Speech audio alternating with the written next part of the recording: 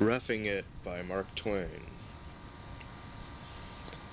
I met three friends one afternoon who said they had been buying Overman stock at auction at eight dollars a foot. One said if I would come up to his office he would give me fifteen feet.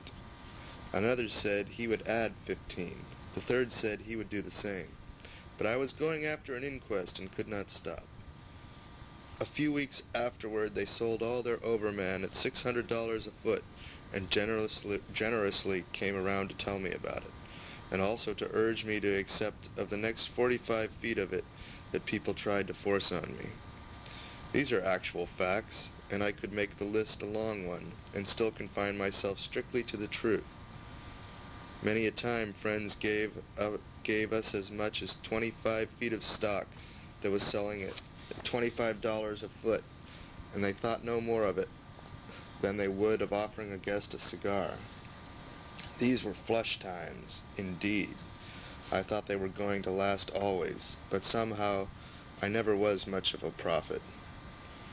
And then there's a portrait of Mr. Stewart, who has on a somewhat rumpled stovepipe hat. He has a wart on his chin and a and an eye patch over his left eye.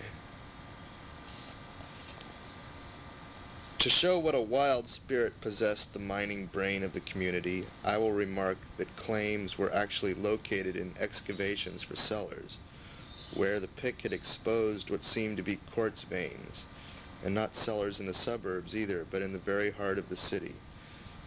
And forthwith, stock would be issued and thrown on the market. It was small matter who the seller belonged to. The ledge belonged to the finder, and unless the United States government interfered, inasmuch as the government holds the primary right to mines of the noble metals in Nevada, or at least did then, it was considered to be his privilege to work it. Imagine a stranger staking out a mining claim among the costly shrubbery in your front yard and calmly proceeding to lay waste the ground with pick and shovel and blasting powder. It has been done often. It has often. It has been often done in California. In the middle of one of the principal business streets of Virginia, a man located a mining claim and began to shaft on it. Began a shaft on it. He gave me a hundred feet of the stock, and I sold it for a fine suit of clothes, because I was afraid somebody would fall down the shaft and sue for damages. I owned in another claim that was located in the middle of another street, and to show how absurd people can be, that East India stock, as it was called, sold briskly although there was an ancient tunnel running directly under the claim, and any man could go into it and see that it did cut a quartz, that it did not cut a quartz ledge or anything that remotely resembled one.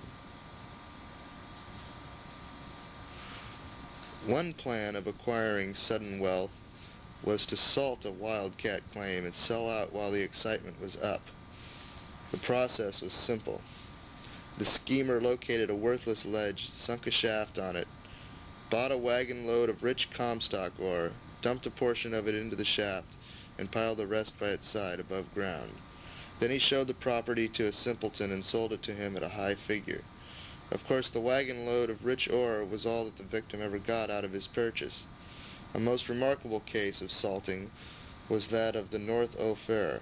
It was claimed that this vein was a remote extension of the original Ophir, a valuable mine on the Comstock. For a few days everybody was talking about the rich developments in the North Ophir. It was said that it yielded perfectly pure silver in small solid lumps. I went to the place with the owners and found a shaft six or eight feet deep, in the bottom of which was a badly shattered vein of dull, yellowish, unpromising rock. One would as soon expect to find silver in a grindstone. We got out a pan of the rubbish and washed it in a puddle, and sure enough, among the sediment we found half a dozen black, bullet-looking pellets of unimpeachable native silver. Nobody had ever heard of such a thing before. Science could not account for such a queer novelty. The stock rose to $65 a foot, and at this figure the world-renowned tragedian McKean Buchanan, bought a commending interest and prepared to quit the stage once more. He was always doing that. And then it transpired that the mine had been salted, and not in any hackneyed way either, but in a singularly bold, barefaced, and peculiarly original and outrageous fashion. One of the lumps of native silver was dis- let's see, on one of the lumps of native silver, quotes, was discovered the minted legend Ted states of. And then it was plainly apparent that the mine had been salted with melted half dollars. the lumps thus obtained had been blackened till they resembled native silver, and were then mixed with the shattered rock in the bottom of the shaft. It is literally true. Of course, the, piece of the, the price of the stock at once fell to nothing, and the tragedian was ruined. But before this calamity, we might have lost McKean Buchanan from the stage. Chapter 45 Flush Times Continue Sanitary Commission Fund Wild enthusiasm of the people would not wait to contribute. The sanitary flour sack. It is carried to Gold Hill and Dayton. Final reception in Virginia. Results of the sale. A grand total. The Flush Times held bravely on. Something over two years before, Mr. Goodman and another journeyman printer had borrowed forty dollars and set out from San Francisco to try their fortunes in the new city of Virginia. They found the Territorial Enterprise, a poverty-stricken weekly journal, gasping for breath and likely to die. They bought it, type, fixtures, goodwill and all, for a thousand dollars on long time. Uh, the editorial sanctum, newsroom, press room, publication office, bedchamber, parlor, and kitchen were all compressed into one apartment, and it was a small one, too. The editors and printers slept on the floor. A Chinaman did their cooking, and the imposing stone was the general dinner table. But now things were changed.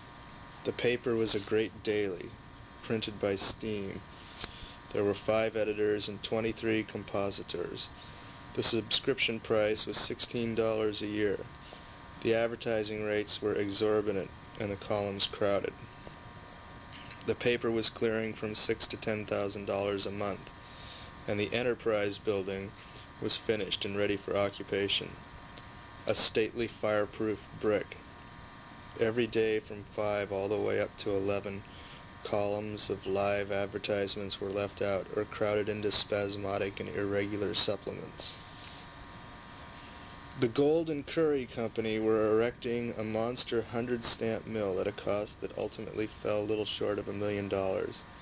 Gould and Curry stock paid heavy dividends, a rare thing, and an experience confined to the dozen or fifteen claims located on the main lead, the Comstock.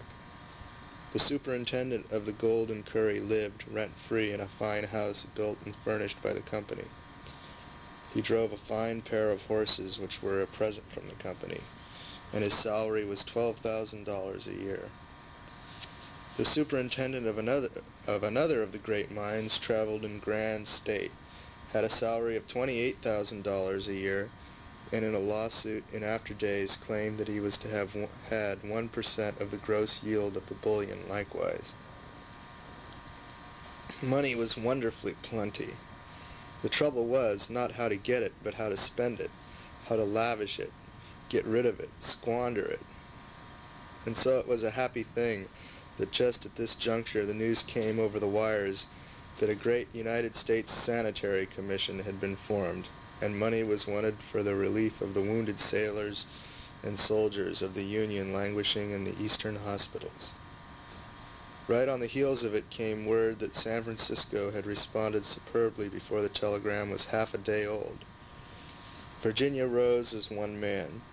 A sanitary committee was hurriedly organized, and its chairman mounted a vacant cart in C Street and tried to make the clamorous multitude understand that the rest of the committee were flying hither and thither and working with all their might and main, and that if the town would only wait an hour, an office would be ready, books opened, and the commission prepared to receive contributions. His voice was drowned and his information lost in a ceaseless roar of cheers and demands that the money be received now. They swore they would not wait. The chairman pleaded and argued, but deaf to all entreaty, men plowed their way through the throng and rained checks of gold coin into the cart and scurried away for more. Hands clutching money were thrust aloft out of the jam by men who hoped this eloquent appeal would cleave a road cleave a road their strugglings could not open. The very Chinamen and Indians caught the excitement and dashed their half dollars into the cart without knowing or caring what it was all about.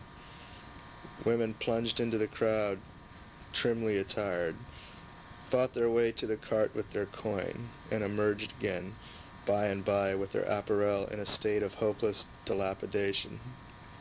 It was the wildest mob Virginia had ever seen, and the most determined and ungovernable.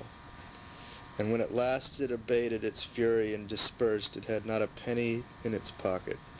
To use its own phraseology, it came there flush and went away busted. After that, the commission got itself into systematic working order, and for weeks the contributions flowed into its treasury in a generous stream. Individuals and all sorts of organizations levied upon themselves a regular weekly tax for the sanitary fund, graduated according to their means. And there was not another grand universal, universal outburst till the famous sanitary flour sack came our way. Its history is peculiar and interesting. A former schoolmate of mine, by the name of Reuel Gridley, was living in the little city of Austin in the Reese River country at this time and was the Democratic candidate for mayor. He and the Republican candidate made an agreement that the defeated man should be publicly presented with a 50-pound sack of flour by the successful one and should carry it home on his shoulder. Gridley was defeated. The new mayor gave him the sack of flour and he shouldered it and carried it a mile or two from Lower Austin to his home in Upper Austin, attended by a band of music and the whole population. Arrived there, he said he did not need the flour and asked what the people thought he had better do with it. A voice said, Sell it to the highest bidder for the benefit of the sanitary fund. The suggestion was greeted with a round of applause, and Gridley mounted a dry goods box and assumed the role of auctioneer. The birds went higher and higher as the sympathies as the sympathies of the pioneers awoke and expanded.